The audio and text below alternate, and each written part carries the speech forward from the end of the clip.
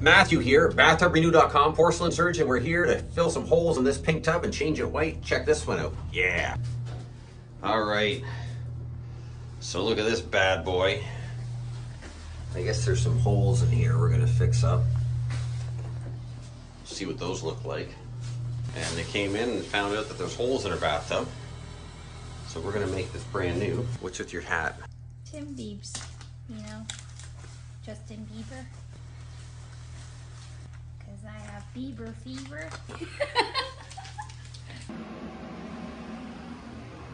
Look at this. We're gonna polish this up. Nice brass color.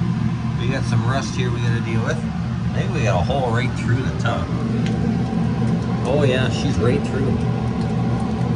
We're gonna make that brand new too. Yeah. Can't beat a good hole in the tub. We got a super duper hole. This is a good one.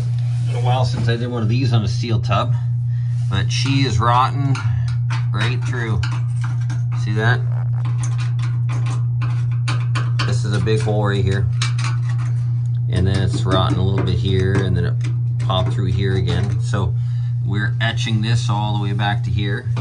So our fiberglass filler has really good adhesion to the porcelain. So we're gonna let that sit on there for a little bit. We're gonna clean that off really nice. We're gonna dry it with a heat gun.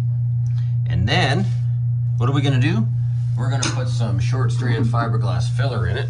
Bondo hair. Yep. We're gonna rebuild her with that.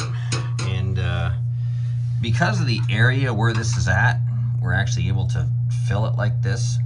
Um, but if it was like in here, I would have to take out the drain and then do a fiberglass layup on the steel porcelain, etch the heck out of it, sure it sticks really good.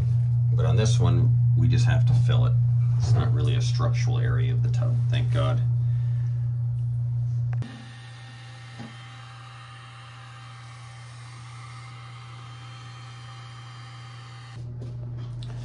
So we got her all patched in, all up. We have all our chips fixed.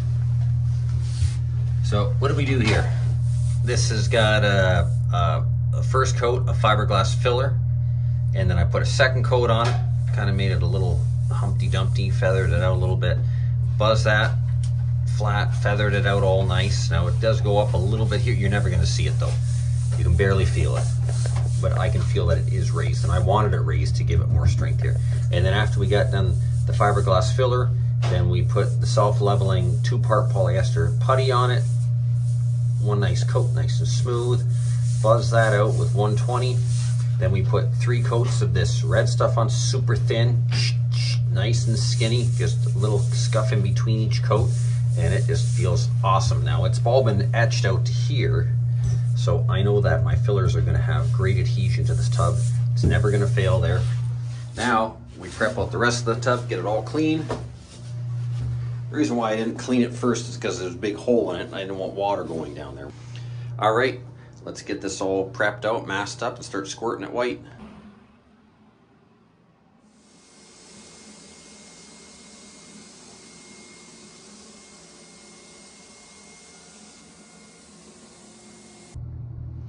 All right, we are all done. She is all brand new. Look at that. Wow. Used to be pink, that's white. All nice and shiny, shiny and white. All cock-a-doodle doodled in. Nice, nice, nice, nice. Oh, we made that disappear. You can't even tell. Look, you can't even tell.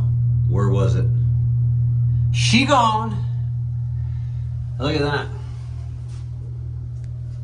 You'd think we put a brand new tub in here. Holy cats, 10 years they can call me and we can redo it again. You could do this tub every 10 years for probably 70 years what it would cost you to change this tub. And the new tubs, you're reglazing them every 10 to 15 years anyways. There, look at that. There's nothing wrong with the tile. The tile looks in great condition. For this apartment, it's perfect. Exactly what they need. Wouldn't you want your tub to look like this? Nice, nice. You saw how ugly it was? She's brand new. I'm Matthew with Bathtub Renew, powered by Liquid Porcelain Technologies, and I will see you on the next video. Yeah.